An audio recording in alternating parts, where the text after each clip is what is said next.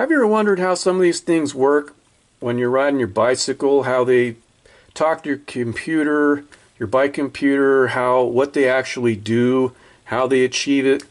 Well, sometimes I think about these things because I have an electronics background. 15, 20 years ago, I was really heavy into building uh, and reverse engineering guitar effects, guitar amps, generating schematics, that sort of thing. And so I thought it'd be interesting to just kind of dissect my old strap that has died and um, just see how it's made, how it works. And so I'm going to give you a quick and as simple as possible overview of what it is, what it does, how it works, and uh, if you're curious, hopefully this will satisfy your curiosity. Okay, so I'm not going to bore you with the obvious details like the little brain snaps onto the strap and all that stuff, but I'm going to go into a little bit about the uh, patent here.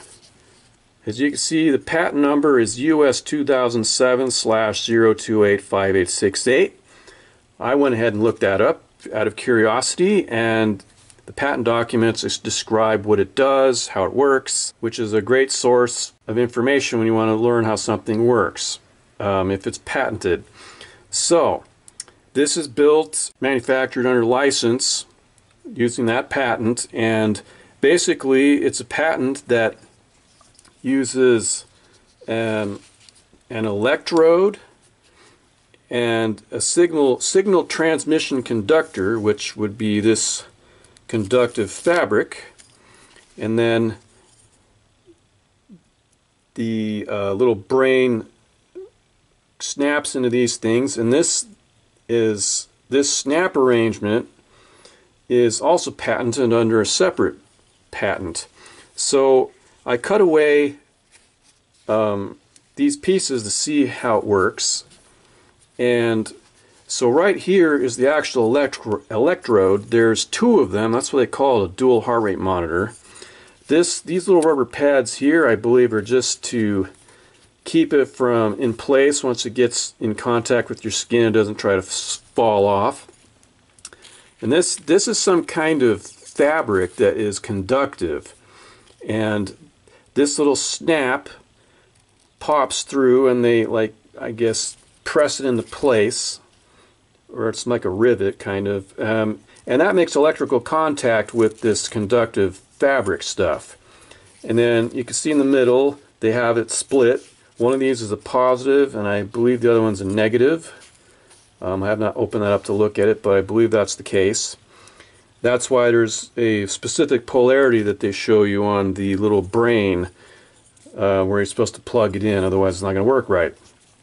Um, and so the patent goes into that there's a an electrode, the signal transmission conductor, and a substrate, which is kind of this like plasticized material, whatever it is, rubberized material.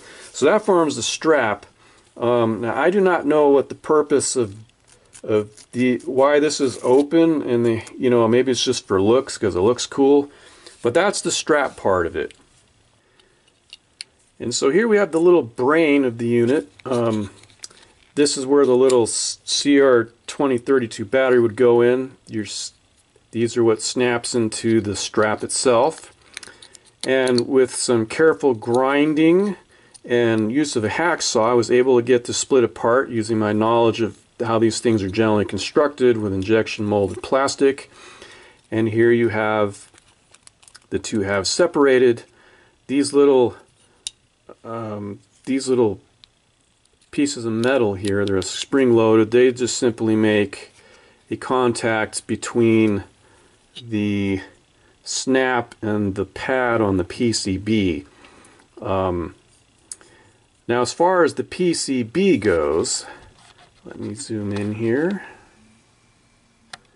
Okay, so as you can see it's a very compact little double-sided printed circuit board and um, it doesn't really have all that much on it. There's a a um, M430G2452 IC chip right here which is a microcontroller with a comparator, timer, 8K flash memory, and 256 KB or bits uh, of SRAM. Um, so basically, this is taking the signal inputs and it's it's measuring and analyzing what's coming into it, and that sends it to this chip here, which is a 24L01 Plus.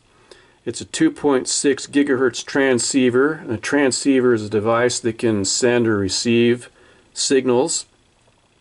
This little silver thing here is a the tiniest crystal oscillator I've ever seen. I believe it's a 16 gig megahertz clock chip that sets the speed of this chip here. These little guys here are just some electrolytic capacitors and I think these are capacitors here. And there's some various little tiny transistors and it's hard to see but all these little guys are like little little tiny resistors. Um, they're like a millimeter long. They're really tiny. And so I guess this uses the so-called ANT plus technology I'm not sure if that is a program that's programmed into the micro microcontroller or what exactly, but when you're talking about ANT plus technology, you're talking about this microcontroller basically being able to talk to whatever device you want to use with this monitor. So, um, and I believe, I believe one of these, or maybe both of these, are part of the antenna that's um, that allows it to communicate with your your bike computer or whatever whatever device you're using. Um, and that's where your battery would go in and that's the back side of it and there's like a a big ground plane this is all a big ground plane right here. Um, I'm not sure if that's to prevent people from trying to reverse engineer this thing or if it's just to keep other it's probably more to keep things like other frequencies uh, from other devices from interfering with this device. But um, so that's basically it in a nutshell. I thought it was pretty interesting to take a look at this and see how it's made and what chips it uses and that kind of thing um, yeah, so for me at least, I found this to be interesting. I hope you found it interesting too. If you did, leave me a comment, give me a like, uh, let me know.